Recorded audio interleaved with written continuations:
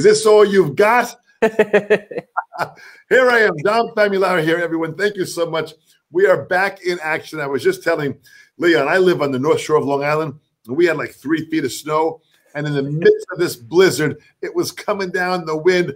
I walked outside in my pajamas. I held my arms out and I said, Is this all you got? Come on, bring on.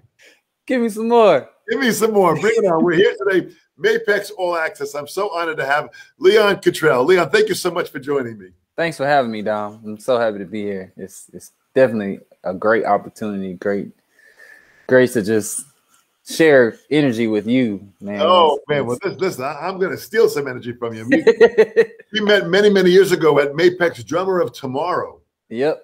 and uh, so we go back a long time ago, and it was just so great to to meet you then and have all the incredible things that you're doing with your career and what's happening. You're so into the drumming, you know, intensity of what you're doing, and it's, it's such a wonderful story. So I want to start at the beginning, Leon. You were you were young, you were influenced. Your dad played drums, correct? Yes. Fantastic. So when did you first kind of hear him play drums? Uh in my mom's belly. no, it's it's very interesting because I started playing at two is when like they said I actually held a beat and like walked up to the drums and played. Um but they really say I was playing before then because all my brothers and sisters used to just give me drumsticks or they said I was beating on everything. So now, are you are you from a musical family? Do any of your brothers and sisters play play instruments? Um, yes, we all play drums. Everybody plays drums. Even my mom. My mom can play too a little bit. oh, man, I'd love to hear your mom play. That's yeah. Oh, that is fantastic. yeah. So, so they all play drums. So, um, Mhm. how many siblings do you have? I have five brothers and four sisters. So it's And ten of us total. Where are you in the in the pecking order? Which one? I'm I'm the baby. You're number ten. Yes, I'm number 10. Oh, fantastic! That's exciting. so you start. So you're hearing drums. You know, you know, from from from when you're in your mother's womb. You're hearing drums. Your Mhm. dad. Who was your dad playing with at the time? Who was he working with? Um, at the time I was born, I think he had just stopped. Um, well, they had just moved from LA to Tucson, Arizona, which is where I was born. Okay. Um, so I don't think he was currently playing with anybody. Um, but he was also playing around town with a cover, a couple of cover bands. Um, one called the Cadillacs, but they did like uh rockabilly music. Nice. Um, and he did some jazz, some some smooth jazz stuff. I remember him, but I don't exactly remember like oh, he had a a blues band. I can't remember the name, but there was a blues band that he was in that they did a couple of albums and um I used to be his roadie. I grew up being a roadie all my life. Well, what?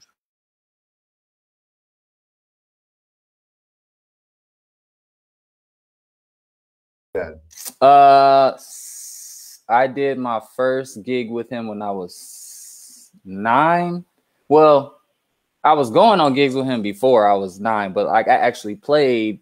Uh, he had a show um where both of our kits were set. He had two kits set up, and Oh. um, I played the first half, and in the second half of the show, I got scared, I guess, and I went to the bathroom and never came back. My brothers and sisters still tease me about that to this, till this day, so it's pretty that- funny. That, they should tease you. That's what siblings do for sure. That's funny. So, yeah, how old are you when, when you you started playing around two? So, how Mhm. old were you when, you kind of had you know your own drum set? You know, were were you playing your dad's kid or? Um. Oh, I think probably like at nine. I think I got. Well, I had a Rogers kit that was his that he got um, and just had for a long time. So when when I first started playing, the first drum set that I put together was that Rogers kit. So I don't. I think I was maybe three or four, five, maybe Yeah. something like that. But that's what I played on for a long while until I got a um it was a Slingerland kit that he had. Nice. that he got another he got another kit, and so he gave me the Slingerland kit because I, of course, young kid tore up the Rogers kit, taking it apart, playing it everywhere. so he gave me a Rogers. He gave me the Slingerland kit and was like, "Don't mess this one up." So I had that one for a while until I was able to. Um, I think the kit from church, one of the guys, they got a new kit, and then I got that kit from church. So. Oh, interesting. So, in, in the in, did you did you play at church? I did. Mm-hmm. So, how, yeah. how how old are you when you started playing at church? Uh, probably about around the same time, five, six, seven, something like that. Interesting. And so, so you know, I, I always, you know, I, I, I love the fact that some of these church bands are just so fantastic. Yeah. The level of musicianship that they have, and of course, they are they are you know spiritually empowered to to mm-hmm. play music, which is so great. Tell me about what it was like with the experience of, of playing in church. Um, it was really, really great. Church kind of like sets you up for learning fast and being able to um get stuff on the fly because it changes in church so quick. Like you could study the whole list that they sent you, and then as soon as you get there, if there's a couple of altos or sopranos that didn't come, they're not doing that song. So now they're throwing another song at you that you either have to remember or have to pick up really fast. And so like I kind of I kind of give credit to that being the reason why I can learn and pick up so fast. Because nowadays this you play a song for me one time and I pretty much have it. But that's like a like a training process, is what that was. That was like yeah, a, for sure. Wow, interesting. So so it, it, what so what kind of songs you, you're doing? You know, obviously spiritually based songs. Yeah, yeah. It was gospel, um, contemporary gospel stuff, um, some contemporary Christian stuff. Right. Um, it's kind of like a mix of both, but it was mostly gospel till I was around like 13, 14 and then I got I discovered Steven Curtis Chapman, and that kind of like put me on to the contemporary Christian side, and I just love that music. So I don't know who was playing drums for him at the time in the early '90s, but it it definitely changed my whole way of thinking and playing. Well, that's interesting. let's let's talk about that. Let's talk about. So, was there any music you were listening to at the time? You know, were there, were there any albums or bands that you were listening to? Oh yeah, Mint Condition. Um, my dad comes from the uh, like 70s, early 80s, like LA musician circuit. Yeah. So he was playing with like um, some of the Motown stuff, and so I definitely listened to all that up until I discovered my mom showed me Steven Curtis Chapman. She brought a CD home, and I was like, "Who is this?" I put it on, and the drums were great, tones sounded great. Boy, how fantastic! So, so you're exposed to it. So your mom was the one that kind of opened the door for you to kind of think a little differently musically. Oh yeah, she's always she's always like kind of thrown a different side of stuff at me. Um, and kind of made sure I was well rounded. Yeah, my dad always wanted me to just play, play, play. He always just said practice, practice, practice. But as far as like being rounded, my mom kind of like did that. Hmm. So what did she? So, so you know, and again, your mom played some drums. Did, did she? Did, and did anybody she, play any other instruments? Um. Well, I have a brother who's a producer as well. Um nobody really played any other instruments. Everybody just kind of stuck with drums or drum line. Like I had one brother who was in the drum line. Oh, um, he was a snare. Um,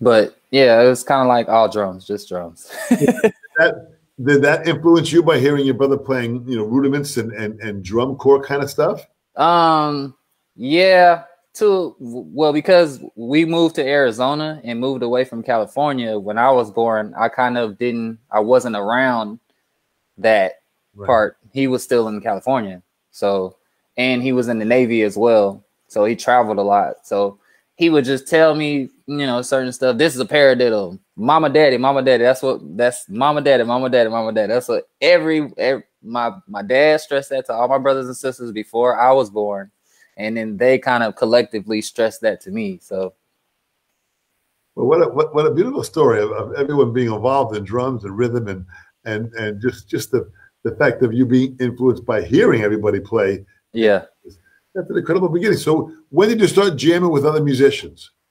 Um. Well, I had a couple of friends, um, Jonathan Thomas and David, and we kind of like used to go at my friend David's garage and play, and that was like I want to say eleven or twelve or thirteen, something like that. Um, but you know, at church, that was definitely playing with other musicians. Yeah. Um, but really, kind of like those two are like the first ones that I really kind of played with other musicians, just trying to create and just play whatever we thought we knew at the time. Fantastic, absolutely fantastic. So you you jam with some musicians, you're playing some stuff. You know, are you are you and you're playing you know all different types of tunes. I mean, you know, you you got a, a real good feel for a lot of different genres. You can play a lot of different genres. I mean, yeah, where, where'd that come from? Um, kind of well, growing up in Arizona, um, you know, on the radio, you hear there's there's for a long time there wasn't really just a like a rap station and a and a, a Latino station or a jazz station. There were those, but everything was kind of like mixed up a little bit. And so like in middle school at dances, they would play two rap songs. They would play a Tejano song. They would play a cumbia, and then then it would be like um, some pop or you know. So I've kind of always been forced to be in a melting pot of just different genres. And then my dad always just kind of made sure that whatever genre I played, that I played it authentically. He would hate when I would play something that's not like how it goes. so, that's a great standard. I mean, you, know, you, want to be as authentic as possible in any yeah. style of playing, and that's just great that your dad kind of instilled that in you. That's a, that's a real good lesson. Yeah, yeah, but um, going to different gigs with him because he played different stuff. Like um, there would be a smooth jazz gig that he would play that I would have to be his roadie, so I would be hearing all that. Then I would hear the blues. He did blues. He played in a blues band, and so I would hear that, and you know, he would play in the rockabilly band or you know, some top forty band and stuff like that. So I was always kind of like, you know, just hearing different stuff. Boy, fantastic! But it's, you know, you're it, it's almost like the your informative years. You're being, you know, you're being seeped into this different type of music. You're learning. You're around your family. They're all playing drums. You're in this. You're in this big pot that's being stirred up. Yeah, yeah. Drums and stuff. It really, it really. so now you're you're playing with different bands. You're doing the church gigs. So mm-hmm. you're in school. Mm-hmm. Did you ever take any private lessons at all? Um, I did when I was, I think I was seven and eight. Um, a guy by the name of Pete Swan really, really great drummer, really great guy.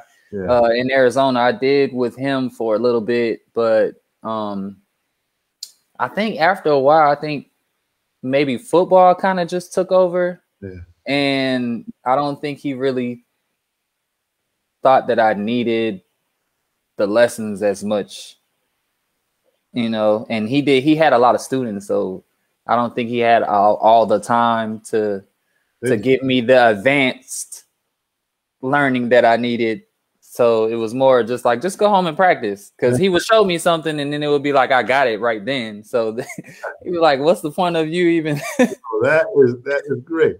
Well, you you already had some great experience on your own. Yeah. So you, you, you, you, did you? So they didn't. You didn't work on any books at all. You didn't do anything like that, right? Uh, Syncopation book. He gave that. That was the first thing he gave me. Oh wow. And, yeah, he as soon as I walked in there, my first lesson, he said, "Take this book. If you learn this book, you'll be a great drummer." so I, I think I practiced that book. Oh, I don't maybe a thousand times. Even now, I still even now sometimes I'll if I don't have one, I'll go find it and just go back and you know because I'm I'm totally self taught, like literally totally self taught. I've never had any any schooling. I didn't take music in high school. I didn't take music in college. I've just basically kind of just watched and been a sponge and you know been around people. My dad would always take me to gigs or like concerts and stuff like that. So you know, I remember going and watching Boney James and his drummer. I can't remember his name, but he was just amazing. Like he was just blazing the drums, and you know that just caught my attention. So, and I'm able to watch and learn and implement, you know, just by watching. So, well, it's fantastic to have that. I definitely would have loved to have the schooling because it kind of would would be a little bit easier for what I'm doing now. but you well, know, as as always, as I always say, it is never too late. That is true. To and, go back and start to brush up on some things. You know, yeah.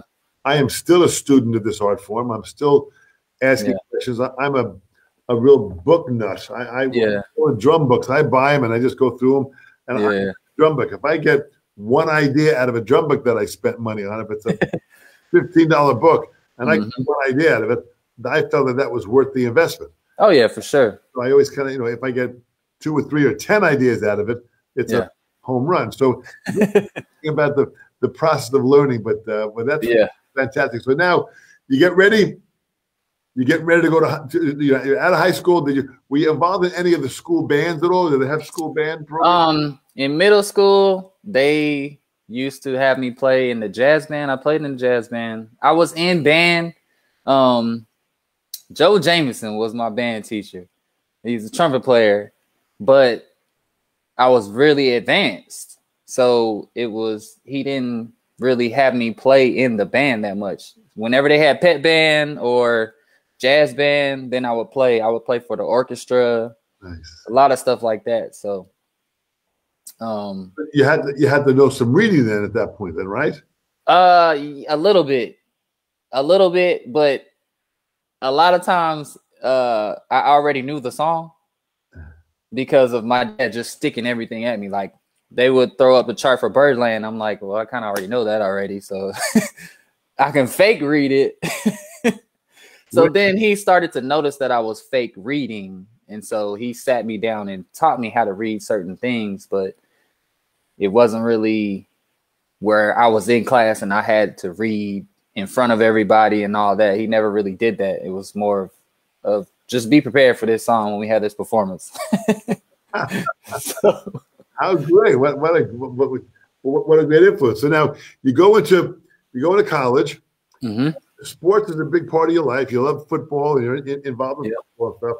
And yeah. going to college for sports and computer science, right? Mm-hmm. Yep, I was on full ride football scholarship at Illinois State University, and um, my major was computer science. Um, so you're, was, you're playing football. Let me tell you something.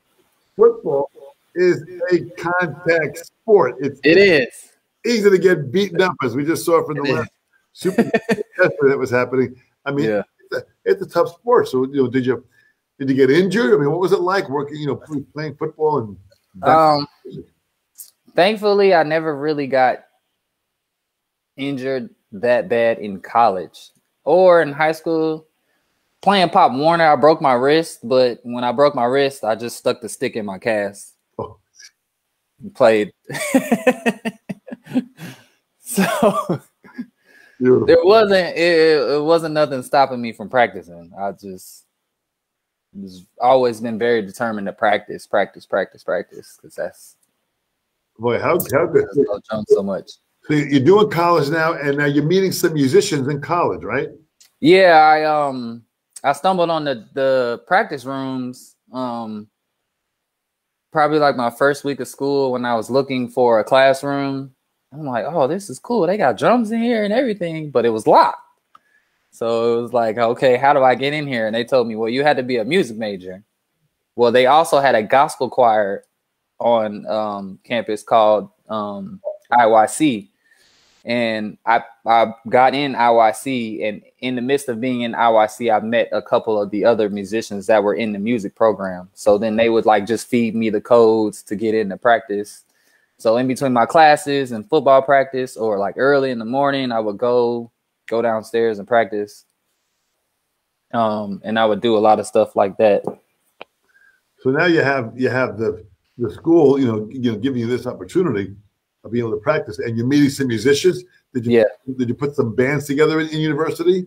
Um, I did. Uh, well, I got together with a couple of guys. Um, Roberto Quinones, he's a saxophone player, and Tommy Miles, uh, keyboard player. and we used to do Thursday, Friday, and Saturday at this um, hotel lobby where we play jazz with just the real book. They would just flip through pages of the real book and call out a song, and I would just play. oh, great! So you had a you had to start to learn some songs. I mean, the real book. For those that don't know, the real book is a is a very very thick book of all jazz standards. Yep. And you can turn page to page ornithology. You, you know, you'll get tons of yeah different. You know, you know, and and it's, it's a great book to learn tunes from for sure. Yeah. So you mm-hmm. play this, this, this, this band. They're reading all, all the different real book songs. Mhm. Get a real education in with you know as far as jazz tunes. Yeah, so I was doing that along with playing in the gospel choir. And then I think my sophomore year, sophomore, junior year, um, I was a leasing agent at the apartments that I was living in. And in those apartments, a guy, another guy by the name of Tommy, he's a keyboard player. He had a band with his brother called Blueprint. And it was like we did uh, top 40 stuff, pop stuff. Um, like Maroon Five and Gavin Gavin DeGraw and all all that type of stuff, and uh, with a mix of R and B. So I started playing with that band. So I was doing the jazz, I was doing the gospel choir, and then I was also playing in that band. And so the band would play out on you know Saturdays, Fridays, and then the jazz hit was from seven to eleven. So I would play Thursday, Friday, Saturday. Was doing a lot of playing You you you were in between football. that's what I'm saying. You're, you're getting some good playing in. You're getting some practicing in. yeah. Still doing the football training. Mm-hmm. Amazing about the football training is the level of discipline that has to happen, both Yeah. mentally and physically. And this is Mhm. extremely helpful in an instrument to have that level of mental discipline, so you can stay focused and have that level of concentration. And the Yeah. physical end of it, where you you're working at, you're keeping yourself in good physical condition. So you're you're really Yeah. like you're putting you're burning the candle at both ends. yeah. That I think that's kind of like what makes it so easy for me to do that now. Because I got a lot of practice at it. yeah, well, and, and you're in good shape too. That's, that's Yeah. fantastic. So when did you first your first gig was a hip hop gig? Yeah, I um uh I started with Travis Porter, Right. hip hop group out of Atlanta. Um it's like really crazy how I got that gig. A, a friend of mine was the, a producer with them, and he told me to come to the studio, and then I met him, and then a couple days later, I was going on tour, and I I played for them when I was in the studio. Um, I kind of snuck into one of the other rooms when they were recording. In an, in the A room, I went into the B room and just started playing to whatever they were recording to. And one of them is a drummer, so he liked it. And then my boy was like, "Yo, we're leaving on tour in a couple days," and I started that gig like that. and then from there, it just kind of like spiraled into playing with more hip hop artists for a few years, and then um, I got linked up with Roman GianArthur, yeah. who is from Wondaland. He was one of Wondaland's artists, and so that kind of is where I started playing, touring on a different genre. Boy, that is fantastic. So now you're starting to get some good experience and yeah, you know get a taste for what touring is like. And now you know, Mhm. but for lack of better terms, you're putting your big boy pants on, man. Now you're hitting the road. yeah, You're getting a feel for what the music industry is like. yeah, yeah. Putting the fire, putting the fire. Absolutely. You know, we've got several Sink or swim. in, in- in big time, man. You see, Yeah. We've got several people that are joining us here, which is which is so great from all around the world. We've got Sean Preston, uh, Angela Izart is on here. Yeah, Angie. I play in a band with Angie called A Sure Thing. What kind of band is that with Angie? We do like all we do everything. We do top 40, we do Latin, we do uh R&B. I mean, it's pretty fun. Angie's from from the Texas area. Yeah. hmm Houston. Does she what, what, what is, does she sing and play an instrument? What, what, what is? She's she's a singer and band leader of of A Sure Thing. Fantastic. Angela, very, very good. I look forward to hearing that band someday. It would be fantastic. Yeah. So if you if you check out some of my videos, that's who a lot of times that's who I'm playing with. Well, that's good. I will absolutely go back. Fantastic, Angela. Thanks. We have Brandon here. We've got uh, Carlos Gutzman, who's a phenomenal drummer in the in Florida area who's also Oh yeah, Carlos is dope. Carlos is the Yeah, best. Brandon too. Look at this here. Frank White, John Owens, a student of mine from, Frank. from North Carolina, is here. Tony Esposito, uh, um, Ray Perez, Jeff Towers, and we've got some great, great people here. Yeah. Farago is here, man. Thanks, Rich, for joining us. Jim Royal, who's a phenomenal player from Connecticut area. Mhm. Quinn, a phenomenal drummer, but he's an entertainment lawyer in the Florida area. And Paul is just a phenomenal, you know, musician. Not only is he a great drummer, Yeah. A great singer also too. Nice. Done many events with him. Mark Bennett joined us here. Look at this here. So Mark. we got some guys. in- So I got a couple questions here. So let's go to Carlos Gutzman here. Let's bring this up here. Let's see what we got here.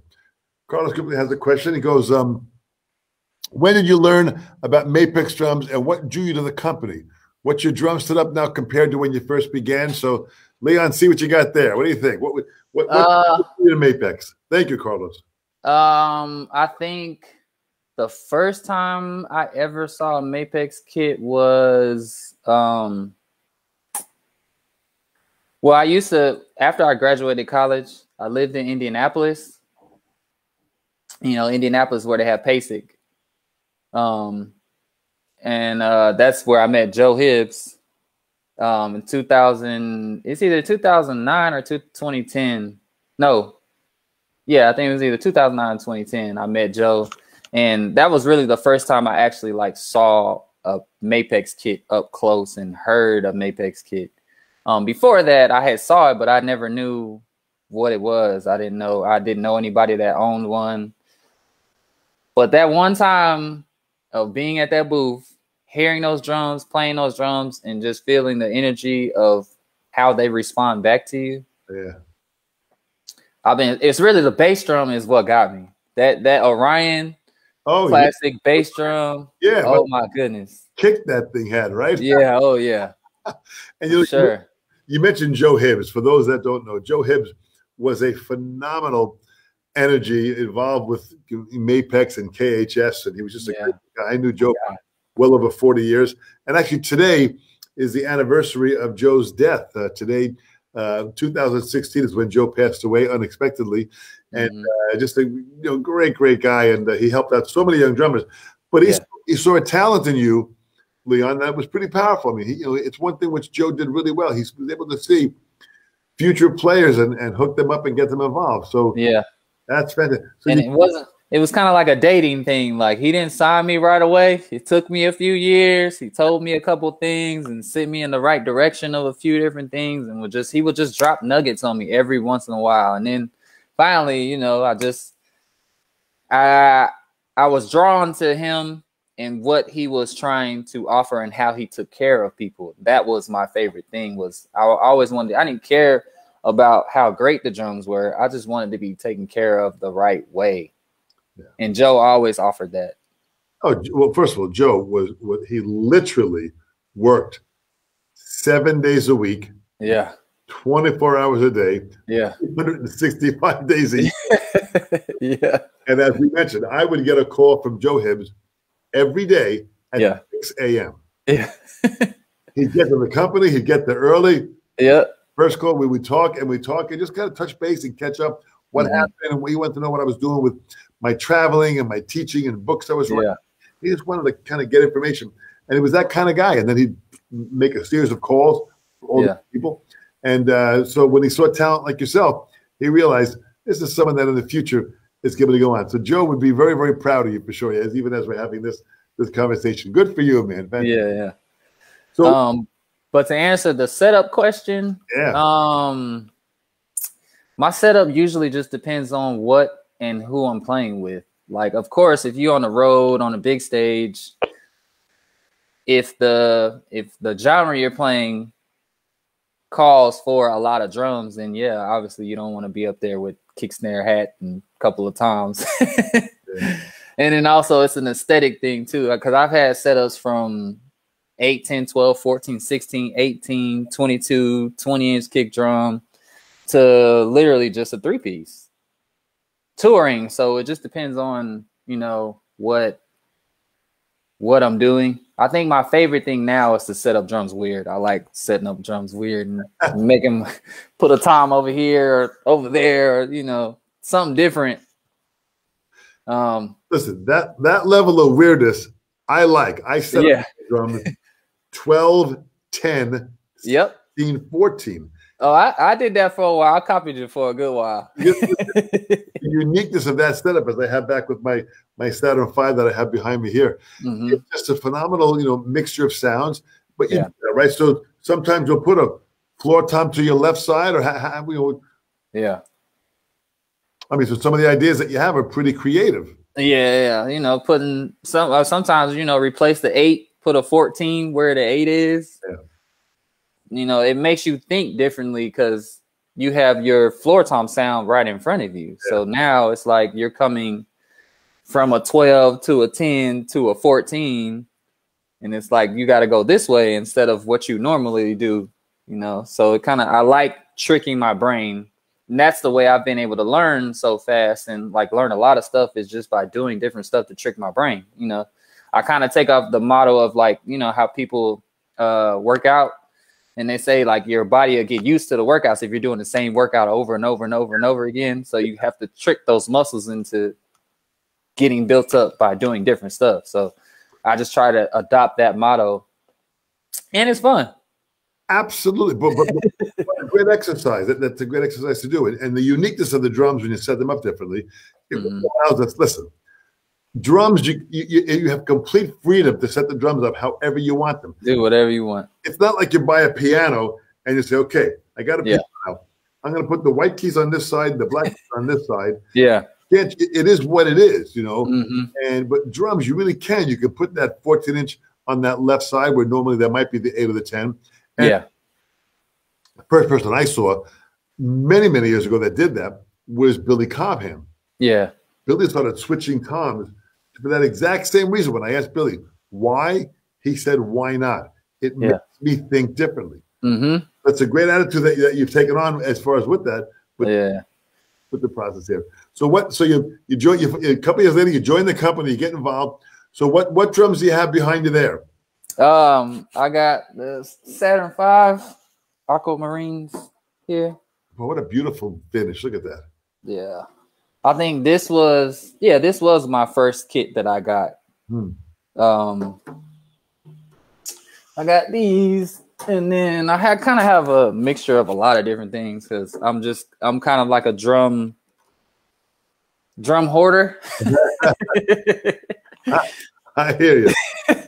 this is uh I I found three toms on um I think it was eBay or something like that. And these are armories.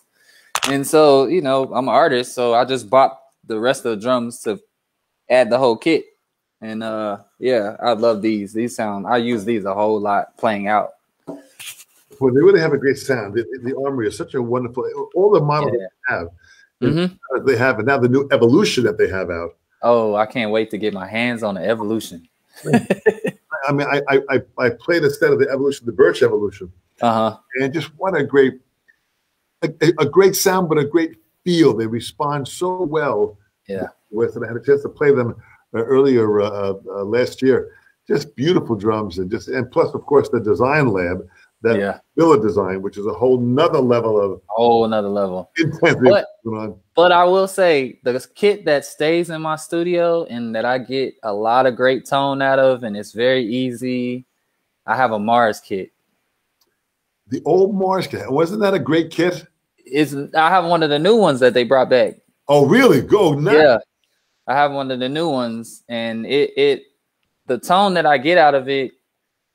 I mean, of course, if you have a top of the line kit, it's top of the line. It's made to have tone, but for it to be a five six hundred dollar kit, Oh, it's incredible. I I get the best sound. I don't have to worry about nicking it up or you know all of that. It just sounds great all the time. So Boy, I love it. That's fantastic. So you got a wide variety between the Saturn, the Armory, and the Mars kit. Yeah, I have a Saturn, the Armory. I have a Mars. Actually, I have two armories, a Mars, and then um, I don't. Do you remember Gizzy?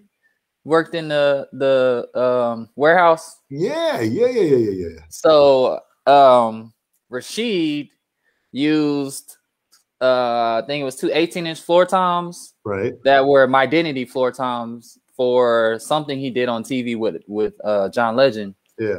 and they didn't use them anymore. They were just sitting in the warehouse, and I'm, you know, in there just checking stuff out. I'm like, what are y'all doing with those?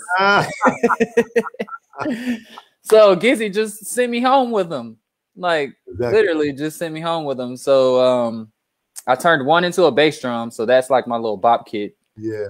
Um, and then one is a 18 inch floor tom that I use. Oh, Um, it's fantastic. Yeah, so it's kind of like a different setup. But the way I interchange all the drums, like I'll use the Saturn bass drum and use my Armory toms, or use the I have a 24 inch Mars uh, bass drum, so I'll use that if I'm playing some rock stuff, and then use the toms from the Saturn kit, or you know, I just it's the stuff is very interchangeable, and it all has its own identity and sound, but it all sounds great and feels great. Like I never sit down on any one of these kits and feel like I'm trying to struggle to get what I want out of it. Yeah.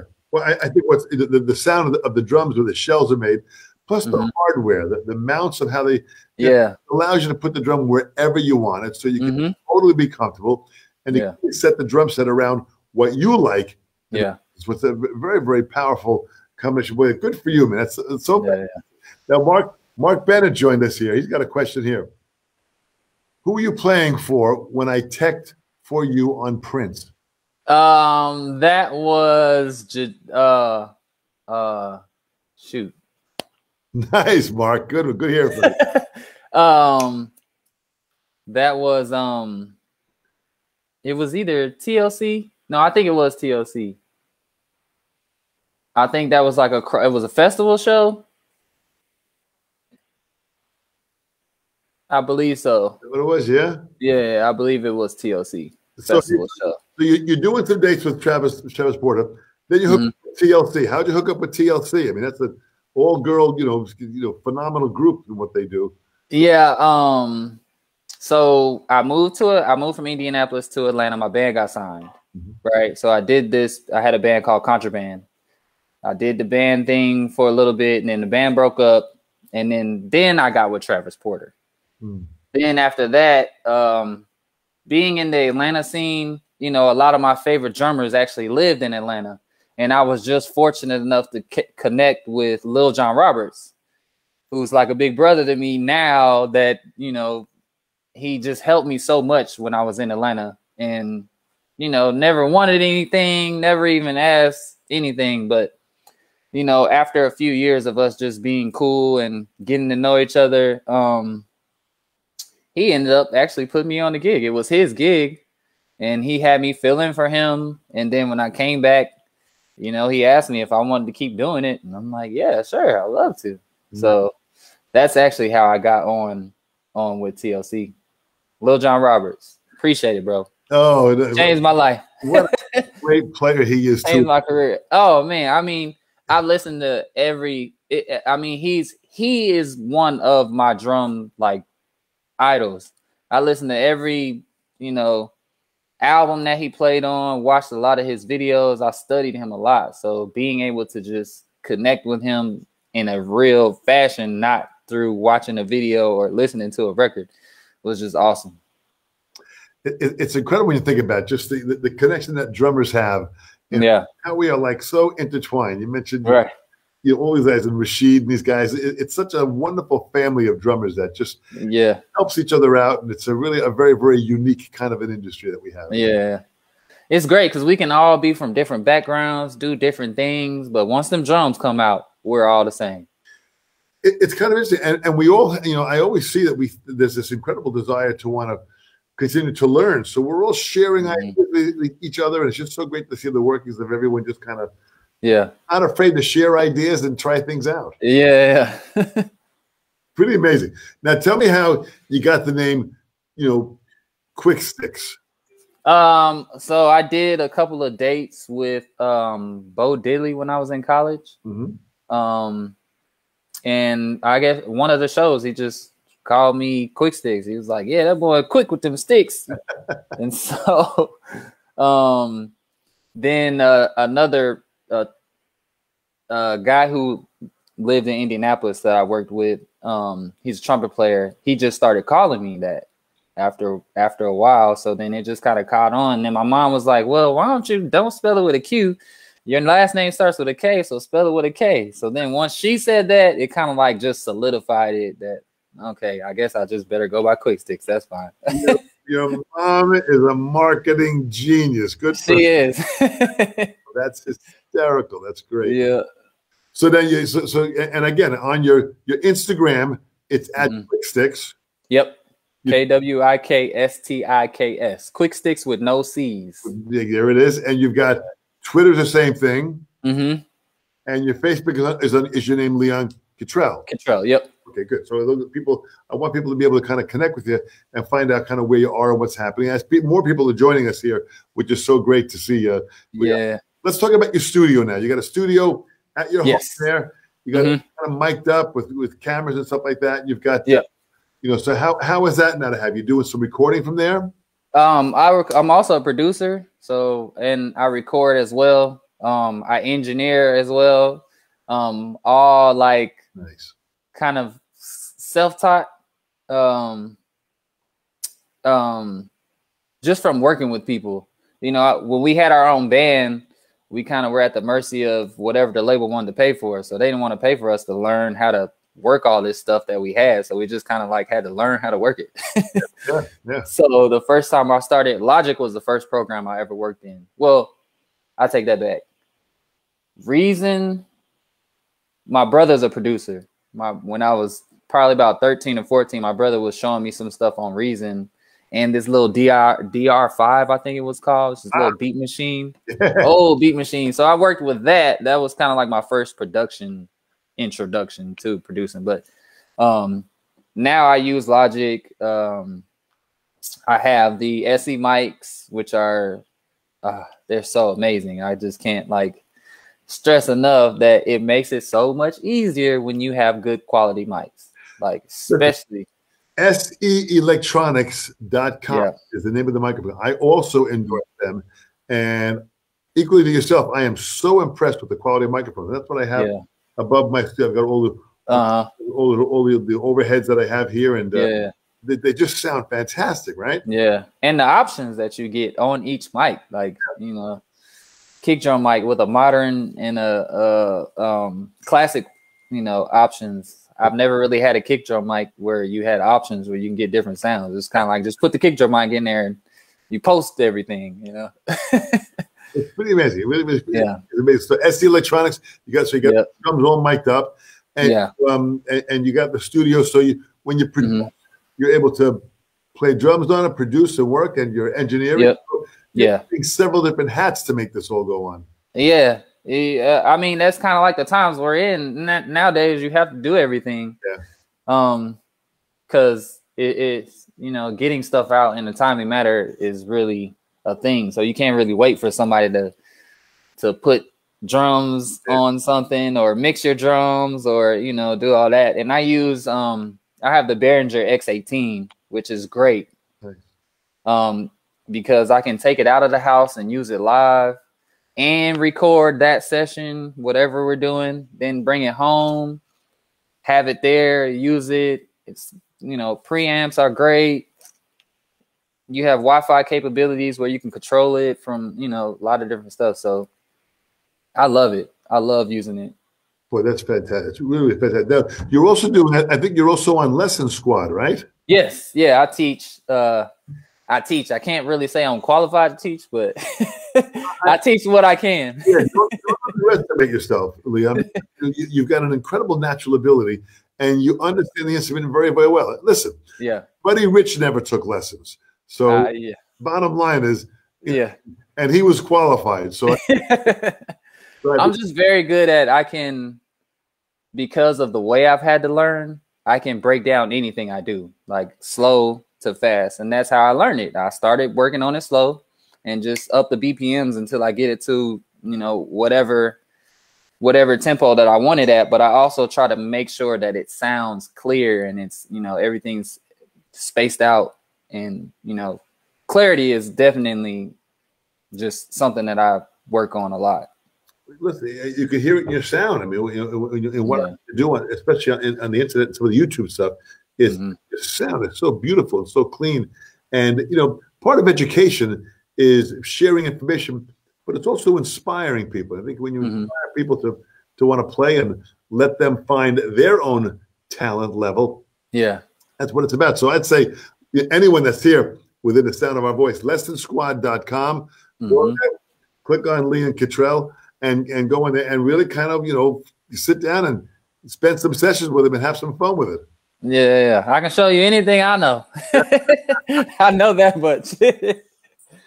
and whatever else you want to know, I probably can figure it out. But uh, I could definitely show you anything that I know. That is great.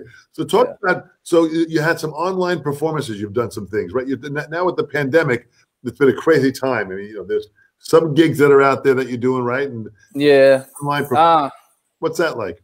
I've done a couple of streams. Um, we I do every Tuesday. I do this. Um, it's a showcase for different artists. Uh, a guy named Phil Wade, who's an artist himself. Uh-huh. He's an artist and comedian.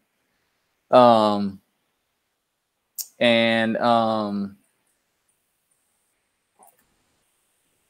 we do it every week, and there's a different artist every week. But we've also streamed a couple of times. done that a couple of times. Um, We've streamed with the Sure Thing. We did a, a live streaming performance at um, this place called R and R Studios here, where it is a uh, basically a streaming stage. Like they, he has performances almost every day of the week. Nice. This guy lets people come in his studio and he records you. He streams it all live, and it's all donation based. It's all like he doesn't charge us to do it.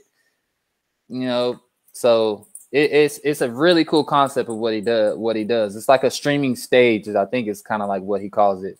Wow. But Roger Roger Ramirez, R and R Studios, it's super dope. Great, great idea. Boy, good. Yeah, yeah. That's fantastic. Well, you'll have to let us know on your social media when you're doing these here. Oh yes, for sure. On there, let everyone know, and we'll we'll go there and join in on it and check it out. I mean, that sounds. Yeah, yeah. Boy, this is so great. You know, we've got so many people here.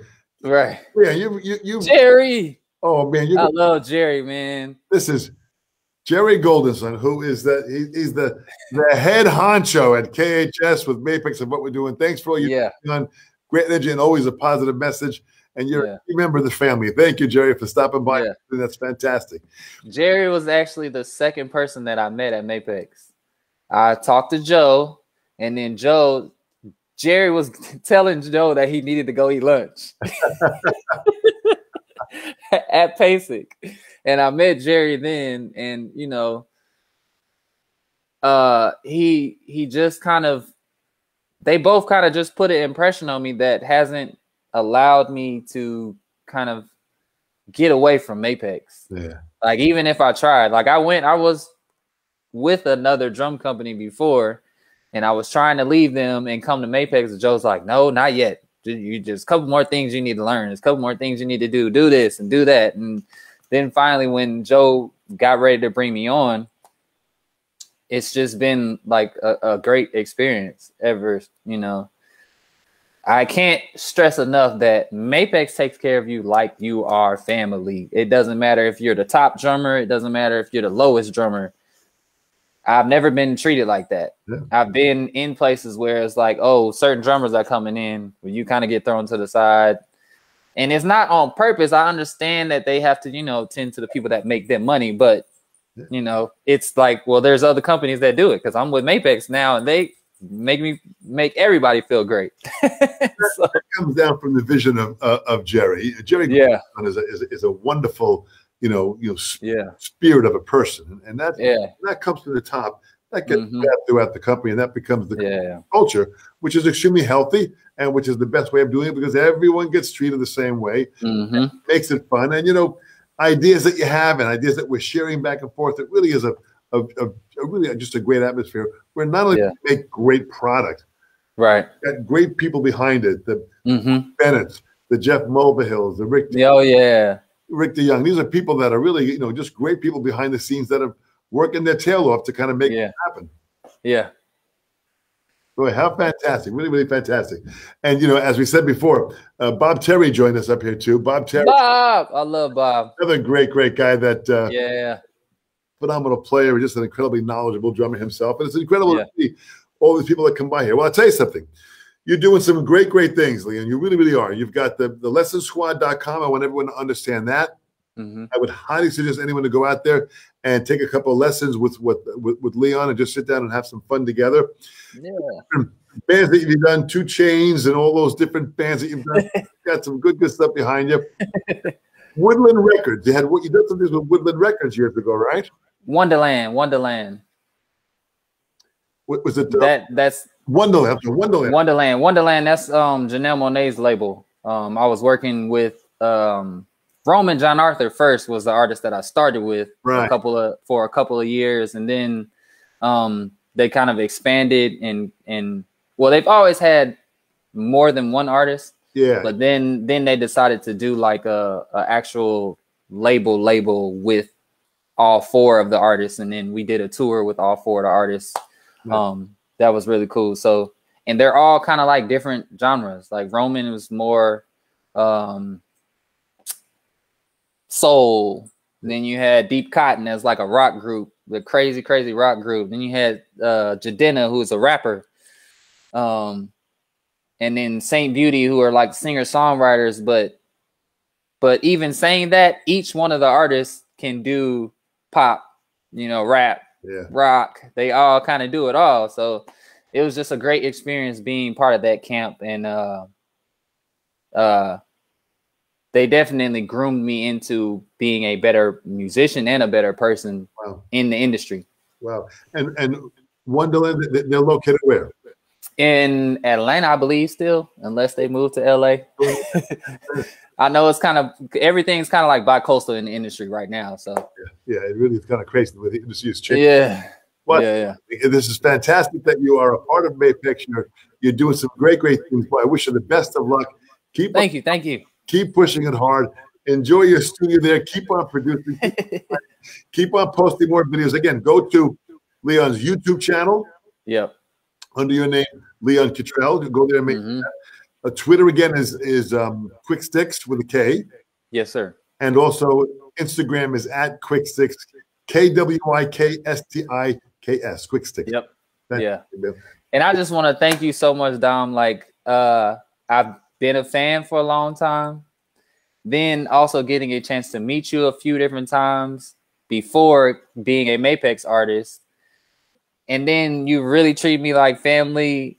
It's like kind of like surreal. It's sort of like when I met Lil John, you know, meeting one of your idols and them actually treating you like you're you're one of their friends or you know I mean just as as a good person it, it's it it adds on and adds on to the person that you are and also like the player that you are. It shows. That shows. Your your energy as a person shows in your playing. Well, that's incredible. now i understand. You can put the two and two together like oh okay that's why he plays like that. He's a dope person. Well, thank you so much. But you know, I, I see players like yourself, Leon, where you are the next generation of where this art form is going. You are playing sincerely, you're working hard, you're experimenting, you're learning, you're constantly growing between all the different things you're doing, between playing drums, between producing, between engineering. You're really kind of learning the craft that what we do. And Yeah. that you really are this next generation that Yeah. will take this drumming well into the 21st century. For that, I thank you so much. And for that, on behalf of Mapex, we thank you so much. Stay well, stay safe. I want everyone out there, thank you so much for joining us here and uh, being a part of this. This will go on to Mapex's Facebook page, and Yes. it'll be put onto Mapex's YouTube channel. So you can go by there. Yeah. It'll be there when you get a chance, Leon. Go back and answer everybody's response that was on here too. Have yeah yeah fantastic. Stay well. thank you you too dom thank you so much, Leon. all right man Fantastic.